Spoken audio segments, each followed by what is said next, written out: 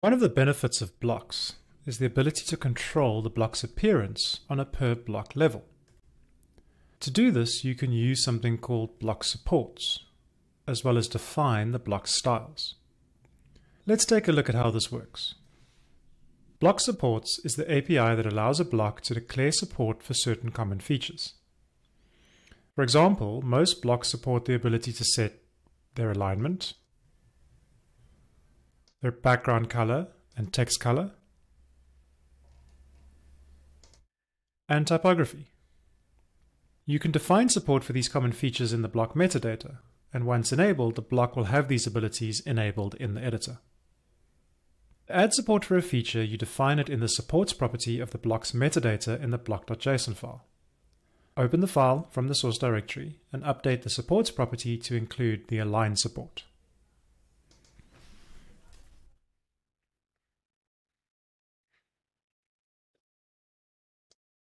Once the build process is complete, create a post and add the block to the post.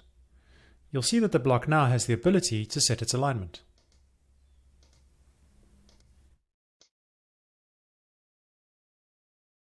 Enabling any of the available block supports is as simple as adding them to the supports property of the block.json file, and it gives your users a wealth of options to customize the block's appearance. There are some cases, however, where you would prefer to define the block styles yourself. In the copyright date block requirements defined in the scaffolding a new block lesson, we required that the block always have a specific border, border color, and padding. This is where the style.scss and editor.scss files come in. These files allow you to set up specific block styles, and then these styles are applied in the editor and on the front end. These two files are syntactically awesome style sheets, also known as Sass files. Just like the JSX format you've seen to create blocks converts into regular JavaScript during the build step, Sass files convert into regular CSS. These files follow the new SCSS syntax, which you can learn about on the Sass website. Fortunately, you can also just write plain CSS in Sass files, and that will work as well. In the scaffolding a new block lesson, you learned what these two files are used for. Style.scss is the styles that are applied to the block in the front end and in the editor. And editor.scss are the styles that are applied to the block in the editor only. If you need a specific style to be applied to the block in the front end and in the editor, you would add the styles to the style.scss file. If you open this file, you'll see the following scaffolded code. You may have noticed, however, that this style is not being applied to the current block. This is because the class name applied to the parent container of the block via use block props is automatically generated based on the block's name. In the block.json file, the name of the block is copyright date slash copyright date block. So the class name is generated as WP block copyright date copyright date block.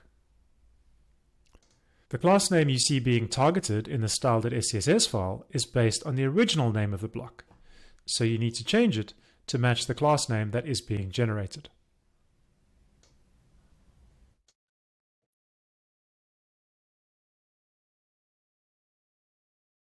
At the same time, you can also add your border, border color, and padding to the block.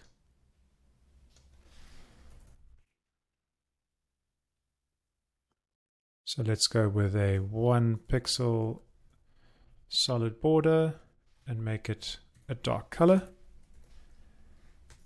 And we'll add padding of five pixels. Because you want the border to appear all the time, you don't need to define any specific editor styles. This means you can delete the editor.scss file.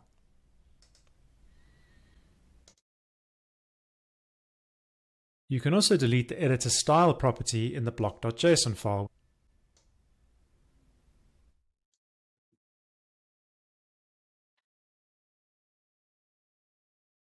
and the importing of the editor SCSS in the edit.js file. Making these changes might break the Webpack dev server, so you may need to restart it. Once the build process has been run, create a post and add the block to the post. You'll see that the block now has the border and border color that you defined in the style CSS file. When you preview the block, the style is also applied on the front end. When you're developing your blocks, it's useful to think about what appearance elements you want users to be able to edit versus what should always apply to the block. Then you can either add the relevant support or hardcode any specific styles into the relevant style file. For more information on adding block supports, check out the detailed supports page in the Block Editor Handbook.